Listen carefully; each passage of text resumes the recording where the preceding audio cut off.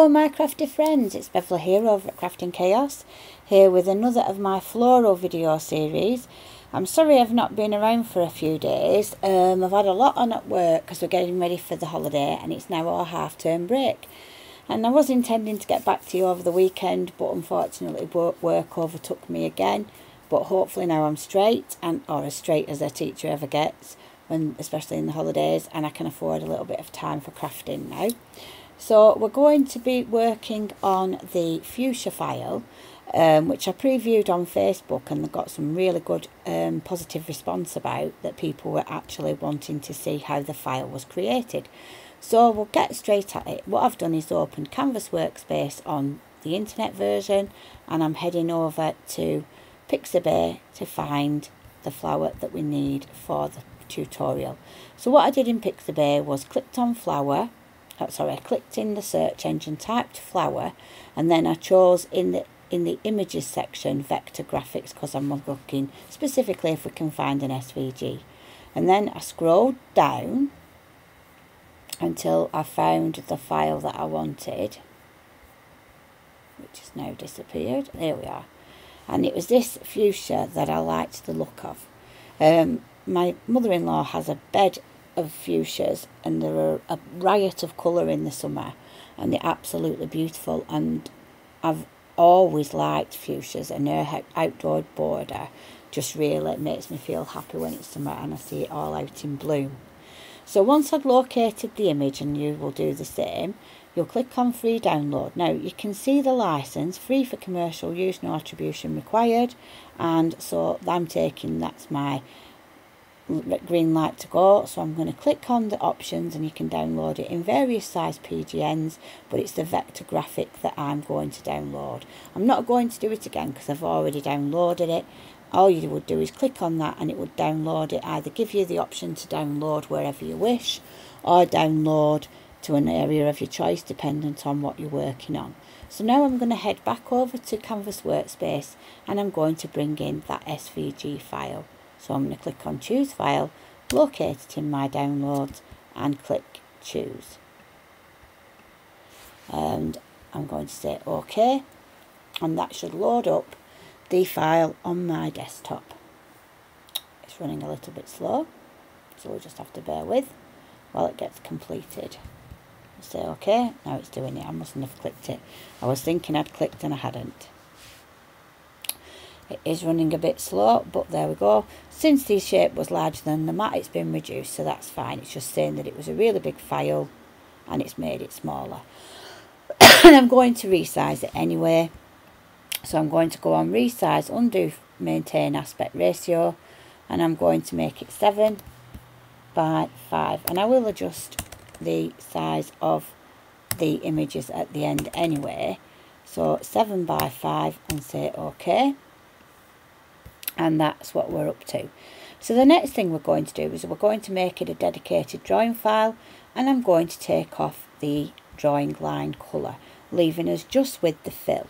So that is now effectively our digital stamp. And if we view, show the drawing line, that's what it's going to draw. If we zoom in, that's what it's going to draw with our pen. So I'm just going to view and fit to mat and I'm going to go off that view because it is a bit off-putting.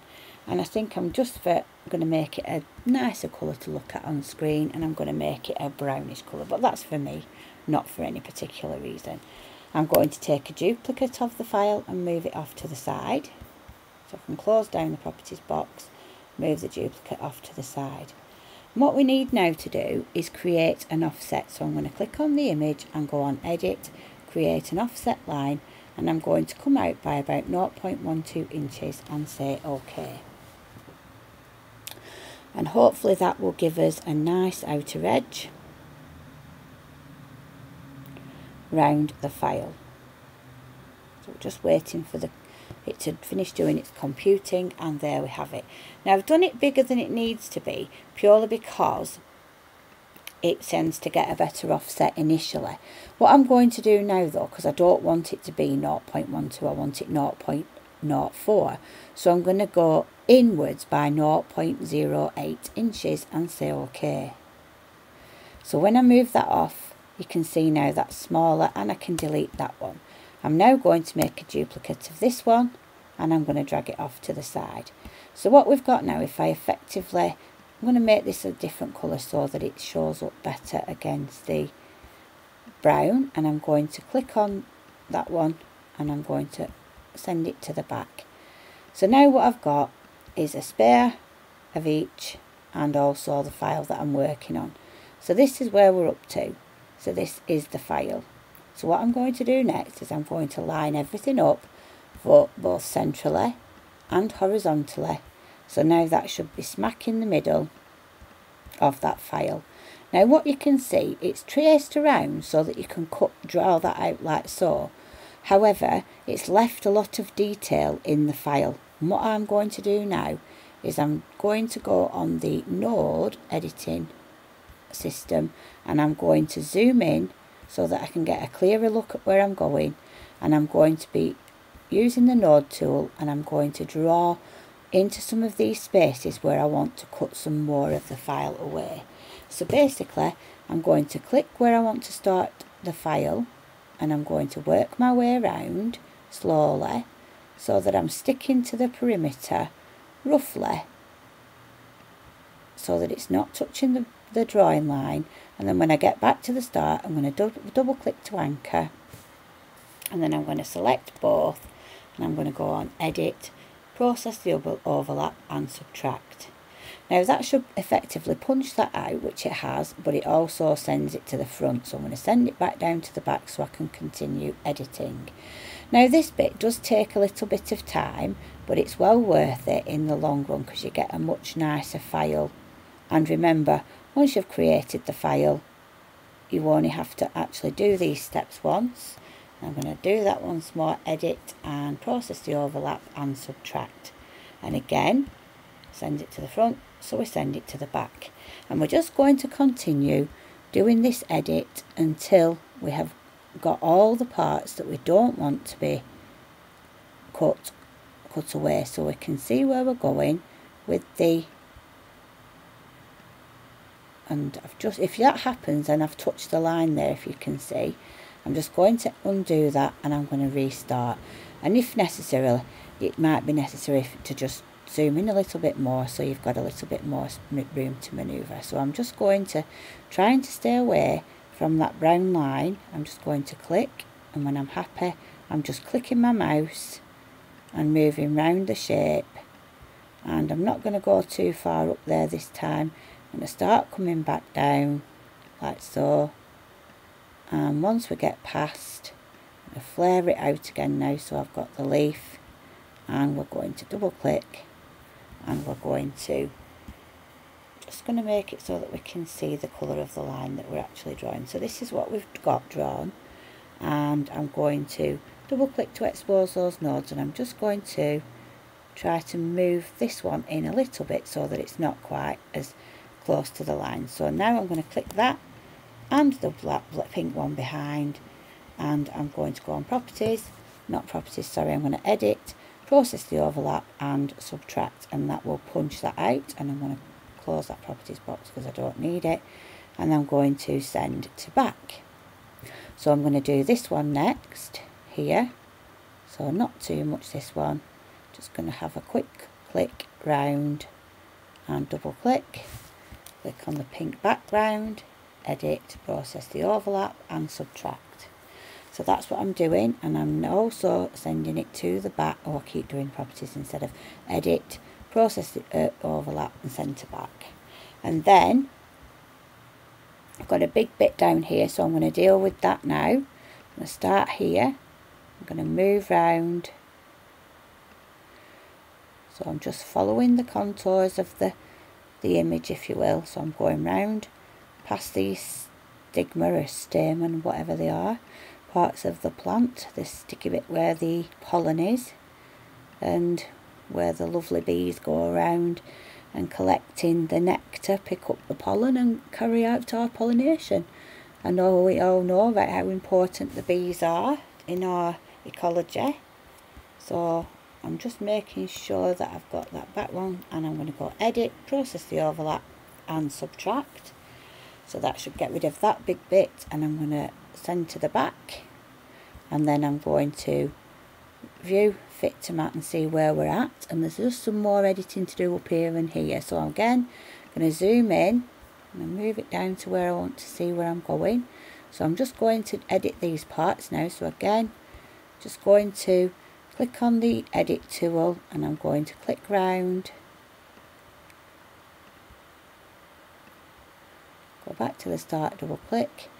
Uh, I'm going to double click to expose the nodes and I'm just going to hide the control point so that I can just bring that one down just a little up edit just a little bit. Click the nodes and let's just make sure that we can click off and click that on. Let's just change it to a colour that we can see. And we're going to click on the pink background and we're going to say subtract and we're going to center back. So all I'm doing is just editing the image so that I'm actually cutting some more of this pink away. Now I want to come right down to here. Double click. Oh not not double click sorry. Start that bit again. So I'm going to come across here and down and across and up and up and then double click to anchor click the pink background and edit process the overlap and subtract. That's just telling me at the top there that my movie that I'm about to upload has completed so I'm going to right click and center back. Let's get rid of that. We're going to do a little bit here so we're just going to take a little tiny triangle out here. Double click. I'm going to double click to expose the nodes. I'm going to hide the control points and we're just going to move that one in a little bit like so. Then I'm going to click on the that one and the pink outer edit process the overlap and subtract and we're going to center back and we're going to do this part now so again click on I'm going to start here I'm going to come down carefully not to touch the sides where I'm actually got the file. And I'm going back up the other side. You can see the path that I'm taking.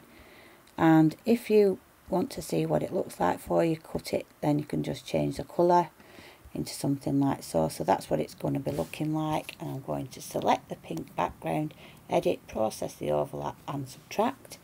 And again we need to right click and send the pink area to the back and then I think there's just maybe this little bit and this little bit that we're going to deal with. And again you can do as much of this or as little as you like but I think if you've got the time remember you only have to do it the once and once you've saved the file you can then um, just keep using it over and over again. So although it does take a little bit of time initially you actually do have a lovely file to play with afterwards so I'm just going to edit, I'm just doing the same steps over and over, bringing it, sending it to the back, and I'm just going to do this bit and then I'm going to see where we're looking now. So again, I'm just taking a triangle out here, double, oh, edit undo because I don't think I anchored that properly. So I'll do it once more. So I'm just clicking, going round in a triangle, double click, and then I'm going to click on the red pink bit behind, edit process the overlap and subtract. And I'm just going to send that to the back. And then I'm going to view, fit to mat, and we're going to have a look where we're at. So now we've got our image more or less cut out and the areas that we need out of the way. So now I'm going to bring this off. I'm now going to delete that one and I'm going to make a duplicate of this one. So then we've got one that we can use as a cut and draw file if you will. So again, need to make sure that that is a cutting file. Say, and we're going to make sure that this one is a cutting file. So what you could do now is if we just select those two, I'm going to edit and I'm going to line them up centrally and vertically and then I'm going to click off and click on the pink. Oh, I think I've just moved that one. I'm just going to click again. I'm going to click just on the pink one. Oops, now I've brought all the nodes up and then I'm going to send it to the back and then you can see that now what I could do is get put that on my scan and cut, get it to draw the file, which is this one on top, which is a drawing file, or it should be. Get the right file selected. There's the drawing file in brown. The pink file is the cutting file. So we've got a drawing file, and if I can get hold of the pink one, I'll try. Let's just have a look if we've got the pink one, which is the cutting file. So we could get the scan and cut to draw it, and then cut it out. So we could have got that for a card. And I'm going to keep this one separate drawing file. So just bringing up the crop properties box, just checking that this is also a drawing file and this is our cutting file. Now I'm just going to move that off to the side and I'm going to bring on a rectangle. So I'm just bringing on the rectangle and we're going to resize it to um, five by seven. Oops. 7. that's given us a 5 by 7 and we've got it the wrong orientation so I'm just going to take it round. So that's given us our rectangle. So what I'm going to do now is edit and create an offset and I want to go inwards by just about half an inch so I'm going to go up to about that one will do and I need to go inward and say OK. So what I've actually got now is when I position this here if you see it's going to be a little bit big for it yet so I'm going to select everything that I've just made both of the rectangles edit and I'm going to punch one out of the other one by subtracting which is just what we've been doing there. I'm going to flood it with colour so you can see that now we actually do have a frame. And if I bring this one back in now you can see that that needs to be a little bit bigger for now. So I'm going to resize the whole thing. And I want it to be so that it's touching. And if I just bring this one to the top so I'm just going to bring this file to the top and I'm going to make this one something other than pink so you can see where it's actually at.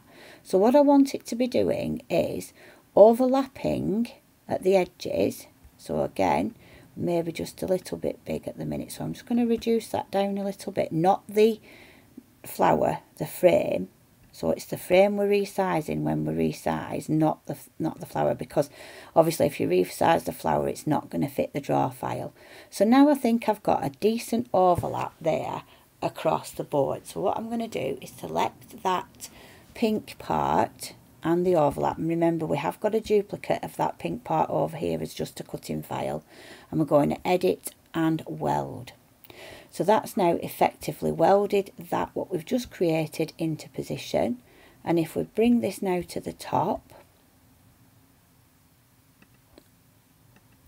we need to make this a cutting file. It's on cutting file, that's good.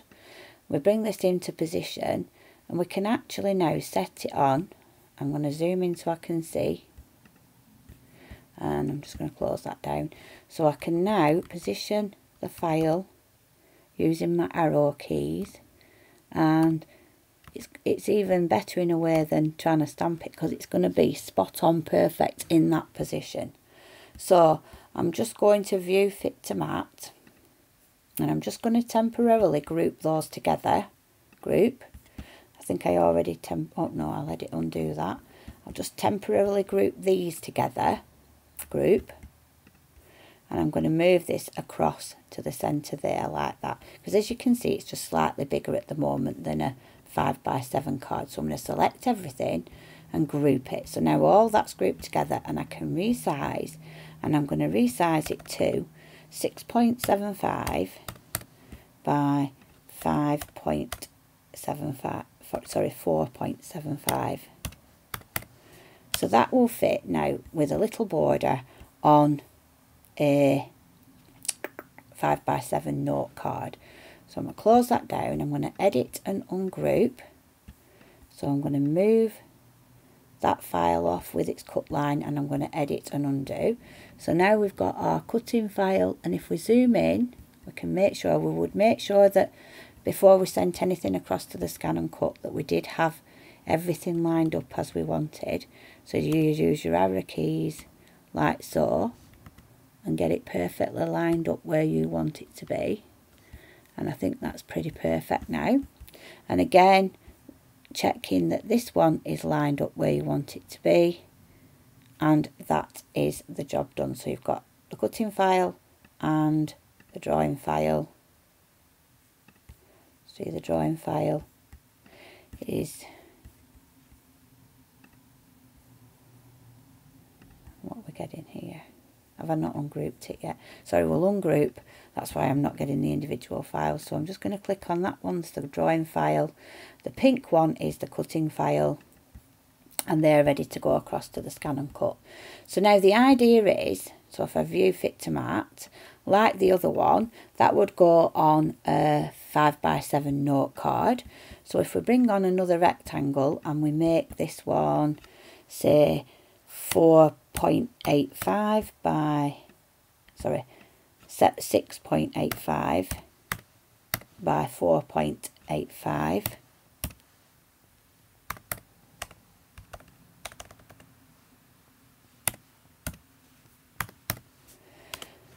Say okay. That's going to be a bit big. What size are we at here? Oh yeah, we need to take this down. So I'm just going to manoeuvre this piece here so that it fills the, I can get it behind the pink layer if you will. And we can give that a colour. So you could put some colour behind and I'm going to send that to the back so then you get that effect of peeping through. And on my video I put a piece of mirror card behind. You could put glitter card behind. You could do a painted watercolour background behind or whatever. So what I did then is I got my scan and cut to draw the flower out. And then I got it to cut it out and then I assembled my card. So that's what you can do. But what I also have done, and I've tried this now with a couple of files, is you can actually put in your Quickie glue pen. And I am going to do a, a video on this, and that'll be probably this file that I'll do. I'll get it to draw it in Quickie glue pen. And I've done it using my gilding flakes. And what I'm intending to have a try at is see what, whether we can actually heat emboss it with some embossing powder. So that's what I'm going to be trying in my next video. So that's how you create the fuchsia file. I hope you have enjoyed the video. So you've got two options. You can either just get your machine to draw it and cut it out for you and you can put it on a card as a weeping part and then put an, a, um, a greeting and or you could do it as a panel like this with a, a drop behind. Now, I haven't done a greeting for this file and I've got a, I've got a very specific reason for it. I wanted um, my viewers that are watching to give me some ideas. What greeting would you like in what sort of font? And I'll look at doing a greeting for you. So, like, I'd like a little bit of feedback from you. What sort of greetings would you like to see? I know it's coming up to Mother's Day for people in the UK, so I had thought about doing that one. But if you leave your ideas in the comments below, I will, um, I'm thinking and possibly might do a video where I'm going to do multiple greetings in one file using different fonts. So if you leave a message, I might make that into a video for you so that you've got several greetings to choose from for all of your card making projects. So that's it for now. Remember, as usual, this file will be available over on my blog at Beverleigh Town Blogspot and it's free to download and use. If you don't feel like you want to have a go at making it yourself, by all means download my file and, and go for it.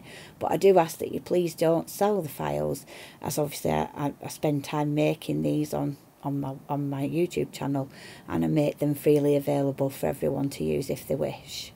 So I wouldn't want, obviously, people being charged for something that they can get for free themselves. Also, if you could direct people over to my blog so they can have a look what's over there, because I do have quite a lot of files over there now. Um, so if you're not sure, have a look yourself. Right, that's all for today.